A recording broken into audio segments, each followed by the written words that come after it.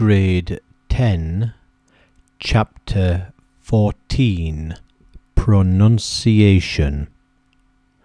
Wind, a warrior, a sled, invisible, a rope, gentle, jealous, rag, coal remain, bow, burn, bowstring, turn into, tremble, fear, meanness.